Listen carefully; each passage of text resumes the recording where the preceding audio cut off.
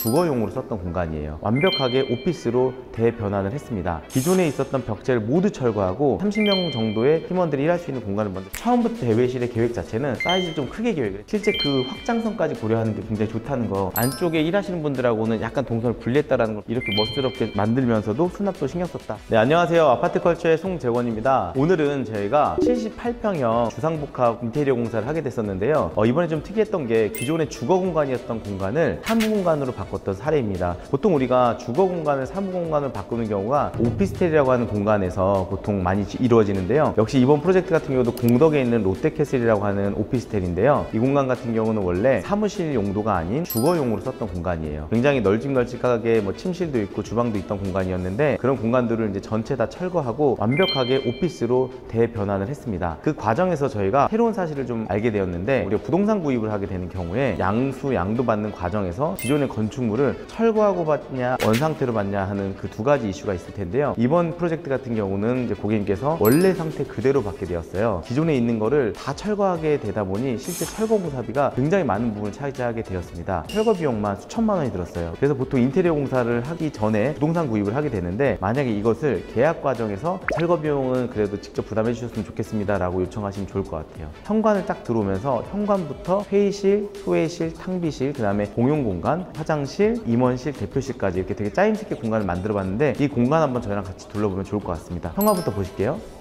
네, 현관으로 왔습니다. 보시는 것처럼 현관 부분에서는 손님들도 오고 이제 직원분들도 오는 공간이다 보니까 입구에서는 최대한 깔끔하게 정리를 해드렸어요. 보시는 것처럼 입구 쪽은 아무래도 사람들이 많이 왔다 갔다 하는 공간이다 보니까 벽체는 전체 다 원래 페인트 작업을 고려했었으나 내구성이 조금 더 좋은 필름 작업으로 진행을 하게 되었습니다. 그래서 보시는 것처럼 페인트 느낌이 나는 필름지로 전체 시공을 해줬고요. 현관에서 이 느낌이 그대로 이제 안쪽으로 연결되는 걸 같이 볼 수가 있는데 주공간이라고 하는 건 보통 우리가 뭘 하죠? 바닥에 보일러 난방이라는 걸 하지 않습니까? 그래서 바닥에 보일러 난방을 하는 이 부분을 굳이 철거하진 않았어요. 난방 공사가 되어 있는 공간을 철거하는 경우도 많은데 보통 오피스에서 일을 하다 보면은 특히 겨울 같은 경우에 온풍기 때문에 위에는 엄청 더운데 밑에는 차가운 경우가 많아요. 근데 이렇게 바닥 난방이 되어 있는 경우는 이걸 활용하시면 굉장히 좋습니다. 왜냐하면 그렇게 되면 거꾸로 바닥과 하체 부분이 굉장히 따뜻한데 상체는 좀 그래도 시원한 상태로 돼서 굉장히 집중도 있게 일을 할 수 있게 되어서 이 바닥 난방이 있는 경우는 되도록이면 활용해 주시는 걸 추천해 드립니다. 그래서 이번에도 역시나 저희가 바닥 난방 있는 거 철거하지 않고 그대로 일반 주거 형식과 같은 신발장에서 신발을 벗고 들어온 형태로 가게끔 공간 계획을 했습니다. 이제 신발을 벗고 들어오다 보니까 아무래도 외부에 있는 오염물질이나 먼지 같은 것들을 버릴 수 있어요. 신발 한번 벗고 들어오게 되면 이것도 사무공간 인테리어를 하는 경우에 고려해 보시는 것도 좋을 것 같습니다. 답답함을 좀 덜 하기 위해서 실용적인 것들을 가져가기 위해서 입구 쪽에 이렇게 전신 거울 하나 배치를 했습니다. 전신 거울 통해서 왔다 갔다 하면서 볼 수 있게끔 배치를 했고요. 이 복도를 통해서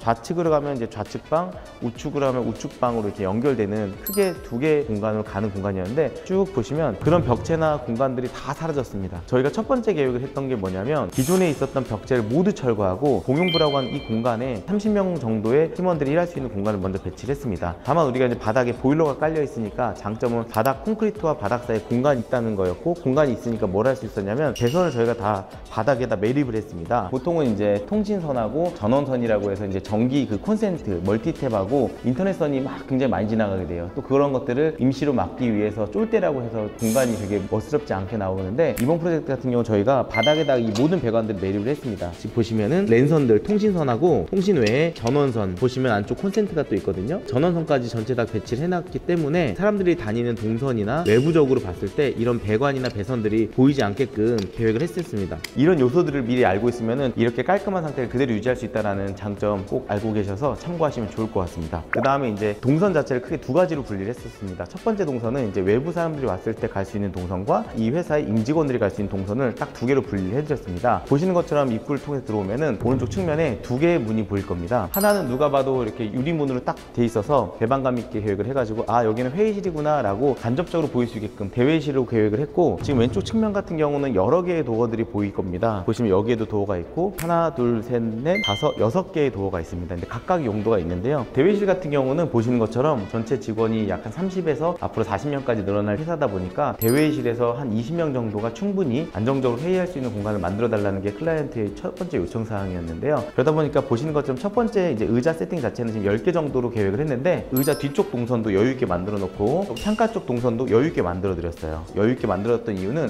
실제 평상시에 뭐 한 8명에서 10명 정도 회의할 수 있는 건 여기서 안정적으로 하지만 만약에 대회의를 하게 되는 경우는 별도로 외부에서 의자를 갖고 와서 이쪽 면이나 이쪽 면에 앉을 수 있게끔 처음부터 대회실의 계획 자체는 사이즈를 좀 크게 계획을 했습니다. 우리가 보통 설계할 때 도면에 있는 것으로만 보게 되면은 딱 그 공간 안에 사람들을 채우려고 하는데 실제 그 확장성까지 고려하는 게 굉장히 좋다는 거 참고하시면 좋을 것 같아요. 회의실 만들면서 저희가 또 한 가지 고려했던 것 중에 하나가 뭐냐면 바로 외부에 창이 있었는데 이 창문으로 이 공간의 답답함을 좀 없애려고 했는데요. 바로 옆에도 저희가 한 6인 정도 들어갈 수 있는 중회의실 정도를 하나 만들었는데 그 회의실과의 연결성을 좀 이 유리창 하나로 기획을 했습니다. 일부는 전체 딱 이렇게 밀폐된 공간을 주되 간막이벽 끝쪽 창가에 접한 쪽을 유리로 계획 을 해가지고 어떻게 보면 약간의 이 공간에서의 개방감을 조금 더 줬었는데 이렇게 공간을 구분할 때 한쪽 벽체에 일부 유리로 마감하는 것도 좋은 아이디어니까 참고하셨다가 사용하시면 좋을 것 같습니다. 그리고 이제 회의실을 기획할 때 빔 프로젝트를 거의 대부분 사용하게 됩니다. 천정에 매립형으로 설치를 해주시면 좋아요. 그래서 저희도 보시면은 천정에다가 아예 매립을 해가지고 사용할 때 내리고 사용 안 할 때는 올려두게 됩니다. 근데 여기서 우리가 한 가지 이 전체를 다 수납으로 계획을 했습니다. 회의실에서 과연 뭐 수납을 얼마큼 하겠냐 하겠지만 회의실의 용도 자체는 회의도 하고 사무 실에서 사용하지 않는 많은 짐들을 보관할 수 있는 하나의 창고의 역할도 하게 됩니다. 근데 제가 이렇게 도어를 열기 전까지 여기가 혹시 창고란 느낌이 들었었나요? 아마 못 들었을 겁니다. 저희가 이번에 프로젝트를 진행하면서 꽤나 많이 공간을 숨겨놨습니다.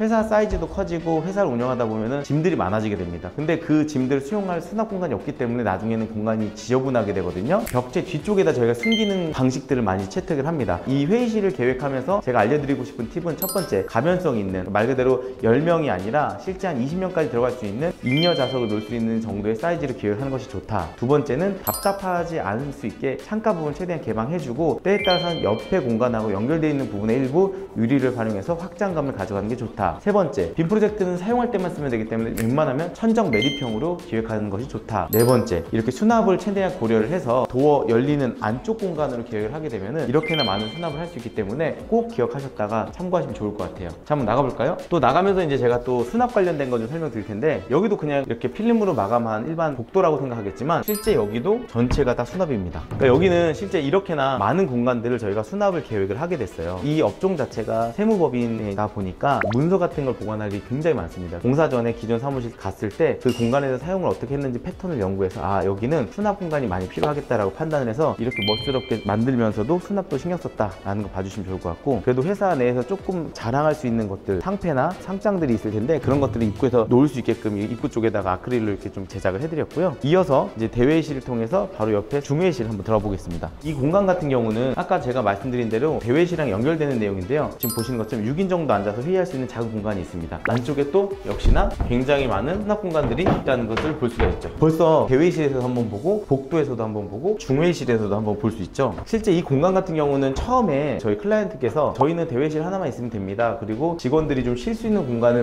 만들어주면 좋겠어요 라고 요청을 했었어요. 근데 제가 요청을 드렸던 게 직원분들이 쉬는 공간도 좋지만 그래도 가변성 있게 우리가 설계하면 좋을 것 같다. 그래서 때에 따른 중회실로도 쓰고 직원들 휴식 장소로도 쓰고 정말 또 회사 규모가 좀 더 커져서 혹시 임직원이 생기면 임직원이 쓸 수 있는 방으로 썼으면 좋겠다 라고 계획을 해서 이 공간 같은 경우 처음부터 컨셉을 세 가지 용도로 다 사용할 수 있게끔 계획을 했습니다. 좀 가변성 있게 설계하는 것이 되게 중요하다라는 것을 좀 설명드리고 싶었고요. 또 이어서 나머지 설명하도록 하겠습니다. 저희가 이 공간을 계획할 때 가장 중요하게 생각했던 건 뭐냐면 평면들 보시면요 Y자처럼 생긴 공간이었습니다. 그래서 되게 울퉁불퉁하고 막 모서리가 튀어나와 있고 했던 공간인데 지금 보시면 영상에서 느껴질지 모르겠지만 굉장히 안정적인 사각형의 느낌이 나올 거예요. 최대한 울퉁불퉁한 공간을 안쪽으로 밀어버리고 최대한 넓게 직사각형을 만들 수 있는 공간을 먼저 크게 다 잡아놨기 때문에 그렇거든요. 실제는 이렇게 벽이 꺾여 있습니다. 안쪽은 다 철거할 수 없는 기둥 같은 게 되어 있는 공간인데 이 공간을 죽일 수도 있잖아요. 벽 재치고 안 쓸 수도 있는데 이런 공간 하나도 다 가구 도어로 계획을 해가지고 이런 청소용품이나 많은 것들을 수납할 수 있는 공간을 만들었고요. 또 이쪽 공간 같은 경우는 이제 팀원들이 많아지게 되면은 외투나 가방 같은 걸 보관할 공간이 필요하잖아요. 팀원들이 이제 옷 같은 거 넣을 수 있는 공간으로 이 공간을 계획을 하게 되었습니다. 어떻게 보면 이제 팀원들의 드레스룸이라고 봐주시면 좋을 것 같고요. 삼각형 공간이에요. 삼각형 공간. 근데 보시면 바깥쪽을 직사각형 만들면서 이 삼각형 공간을 최대한 활용할 수 있게끔 디자인을 하게 되었어요. 이번 도어를 열어보게 되면 이 공간 같은 경우는 탕비실입니다. 간단한 이제 뭐 식사 같은 거 하시면서 이제 음료나 냉장고 같은 거를 놓을 수 있는 공간이죠. 그래서 보시면 정수기하고 추후에 이 공간에 냉장고가 들어오게 될 예정입니다. 보통 아까도 말씀드렸던 것처럼 살림이 많아지다 보면 수납이 많이 필요하기 때문에 여기도 이제 상부장부터 하부장까지 꽤나 많은 수납들을 계획을 했고요. 또 여기도 도어를 열면 수납 계획을 충분하게 해주었습니다. 탕비실임에도 불구하고 보시는 것처럼 벽 뒤쪽 공간도 수납으로 같이 계획을 했기 때문에 이렇게 도어가 닫혀 있는 경우는 깔끔한 벽체로 보이지만 탕비실 안쪽도 정말 많은 수납을 할 수 있는 공간으로 계획을 했어요. 어쨌든 제가 계획했던 건 뭐냐면 외부에서 봤을 때 외부 공간은 최대한 깔끔하게 선도 노출되지 말고 짐들도 외부에 노출되지 않았으면 좋겠다 하는 게 저희의 가장 큰 계획 중에 하나였다는 것을 참고하시면 좋을 것 같습니다. 이어서 이제 쭉 가다 보면은 이제 여기들은 도어는 아니고요. 다만 이제 이쪽 어디인가에 이제 보일러실이 계획이 되어 있습니다. 보일러실 같은 경우는 굳이 여기를 통해서 도어를 들어갈 필요가 없기 때문에 저희가 안쪽에다가 또 창고를 하나 만들어 드렸거든요. 이 창고 공간을 하나 만들면서 이쪽에다 도어를 내 가지고 보일러실로 들어갈 수 있게끔 계획을 했습니다. 그래서 보일러실 같은 경우는 굳이 외부 쪽에 노출할 필요가 없었기 때문에 보일러실 자체는 이제 안쪽에다 배치를 했고요. 보일러실도 저희가 이번에 공사를 하면서 배관 같은 거 정리를 싹 해줘서 보시면 이 보일러실 자체에도 꽤나 많은 수납들을 할 수 있는 공간이 되고 또 이 창고 공간 같은 경우도 저희가 계획을 할 때 이 보일러실로 다니는 동선을 제외한 왼쪽 오른쪽을 다 수납할 수 있는 랙 같은 걸 설치할 거라고 저희가 가정을 했습니다. 양쪽에 전체 다 나중에 추후에 랙이 설치돼서 수납을 다 하게 될 예정입니다. 그리고 마지막으로 이쪽 공간 같은 경우는 일반 벽은 아니고요. 여기도 똑같이 불규칙한 벽을 보시면 여기는 이제 기둥이 하나 있어가지고 크게 기둥이 하나 있고 이제 옆에 남는 공간이 있었는데 이 공간 같은 경우도 최대한 일체감 있게 디자인하고 수납까지 하게끔 하기 위해서 보시는 것처럼 도어로 계획을 하게 되었습니다. 그래서 아마 이제 제 설명을 쭉 듣고 다시 이쪽 벽면 쭉 보게 되면은 정말 깔끔하게 디자인되어 있지만 수납 공간, 창고, 그 다음에 보일러실, 탕비실, 그 다음에 직원분들 옷 놓을 수 있는 드레스 룸 같은 공간, 그 다음에 청소도구 놓을 수 있는 공간, 그 다음에 중회의실까지 이 공간 안에 다 넣었거든요. 굉장히 깔끔하지 않나요? 지금 저는 이렇게 좀 편하게 다니는데 제가 여기 가구들이 다 배치되어 있다라고 생각하고 다녀볼게요. 원래 저희가 계획했던 동선 이 동선입니다. 왜냐하면 책상들이 여기 배치될 거라서요.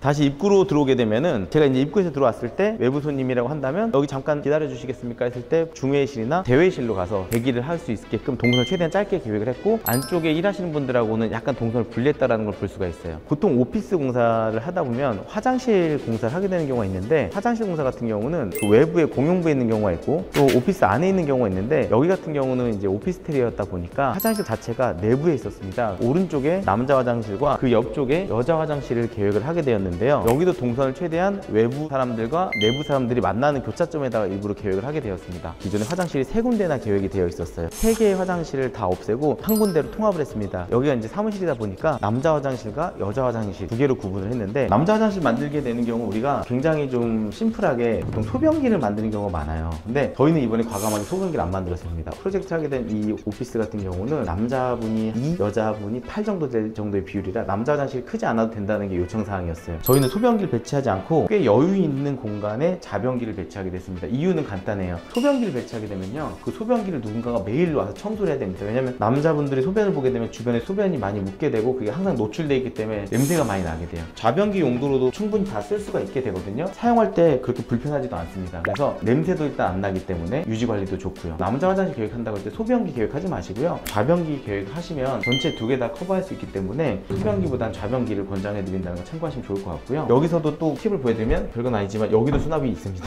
그리고 이제 보통 업무를 하다 보면 아무래도 야근을 하는 경우도 종종 있잖아요. 여성분들은 그렇지 않은 경우가 있는데 남성분들은 좀 일하다 보면 또 샤워하고 나면 좀 refresh 되는 경우가 있어서 여기 대표님께 이제 저희가 제안을 드렸습니다. 화장실 계획을 할 때 되도록이면 샤워실 하나를 만들면 좋겠다. 대표님께서 응해 주셔가지고 저희가 안쪽에다가 샤워실 하나 만들어 드렸습니다. 보시는 것처럼 안쪽 공간 굉장히 넓게 샤워할 수 있게끔 만들어 드리고 위에다가 환풍기까지 설치를 해드렸어요. 그래서 보통 이제 업무가 좀 길어지거나 그런 경우에 이렇게 사무실 안에 샤워하는 공간이 있으면 굉장히 유용하기 때문에 참고하시면 좋을 것 같아요. 이어서 여자 화장실인데요. 사전에 그 여자 직원분들하고 인터뷰를 했을 때 이런 요청 사항이 있더라고요. 아 사무실 안에 화장실이 있으면 난 이용하지 않을 거야 라는 설문들이 있었어요. 아무래도 이제 뭐 일을 보거나 할 때 소리가 난다거나 뭔가 편하지 않은 이유들이 있었을 텐데 저희가 고민을 했습니다. 어떻게 하면은 사용자가 정말 이 공간 안에서 편하게 자기를 볼 수 있게끔 만들까 고민을 했습니다. 평면 자체가 Y자형으로 생겼다고 말씀드렸잖아요. 바로 보이는 게 아니라 좀 꺾여서 들어가는 공간을 계획해야겠다는 것과 화장실까지 가기 위한 여러 레이어들을 만들었습니다. 폐쇄적으로 밀폐된 공간이야 라는 걸 연출했는데 문을 열고 들어오면요. 제일 먼저 맞이하는 게 이렇게 굉장히 넓은 공간이 있는 세면대 구간입니다. 세면대 크게 두 개 만든 이유는 아까 말씀드렸던 것처럼 남녀 비율 중에 여자분들이 많은 비율을 차지하다 보니까 점심시간 같은 때 양치하는 것들도 동시다발적 발생할 수 있기 때문에 크게 두 군데 공간을 만들어 드렸고요. 또 들어와 보시면은 이 벽체를 형성하면서 뒤에 조금 남는 벽이 있었어요. 여기다도 파우더 공간을 만들어 드렸어요. 그래서 첫 번째는 화장실로 들어가기 전 공간으로서 충분히 여유 있게 만들어 보여드렸고요. 두 번째는 밀폐를 주기 위해서 첫 번째 도어를 열고 두 번째 도어를 하나 더 만들었습니다. 이렇게.